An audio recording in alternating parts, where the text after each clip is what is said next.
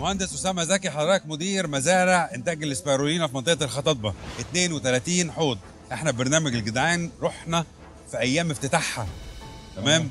فهي غالية علينا جدا لأنها من أوائل مزارع الاسبيرولينا في مصر. طمنا عليها.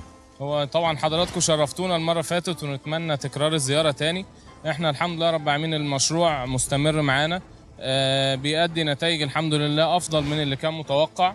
إحنا الحمد لله وصلنا دلوقتي إن إحنا رفعنا معدل الإنتاجية عن اللي كنا آه، بنتكلم عنه وقتها. الحمد لله رب العالمين إحنا يعني وصلنا لمعدل تقريبا زودنا 20 ل 30% عن المعدل العالمي حتى لإنتاج ال- المتر المكعب. اللي هو كام بقى؟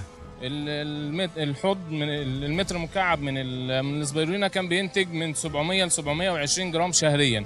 إحنا الحمد لله وصلنا دلوقتي لكيلو واحيانا بيزيد يعني في الصيف بيزيد كمان عن الكيلو. باشمهندس خليني أسألك سؤال. هو جه في بالي يعني. اتفضل. أنت حضرتك دارس زراعه زراعة تمام. القاهرة يعني كلية الأساتذة يعني. الاسبيرولينا دي مش حاجة جديدة علينا في مصر؟ كان سهل إنك تتعلمها وتتقنها وتعرف خبراتها؟ هي السهولة فيها إن هي أي حد ممكن يربيها لكن فيها صعوبة في التحديات اللي بتقابلها كأمراض. آه، تحديات في الجو بالنسبة لنا إحنا هنا في مصر عندنا ال- التراب في الهواء على طول الملوثات اللي في الجو. الحشرات اللي في الجو كل دي تحديات بتقابل أي حد مربي للسبايرولينا مجرد ما بيعرف يتحدى الحاجات دي ويعرف يوجد لها حلول يعرف يتعامل معاها خلاص بعد كده بيبقى العائق ال- الأساسي قدامه هو التسويق. وده اللي إحنا كشركة Green Space بنحققه دلوقتي وبنقدمه لل- للعميل بتاعنا.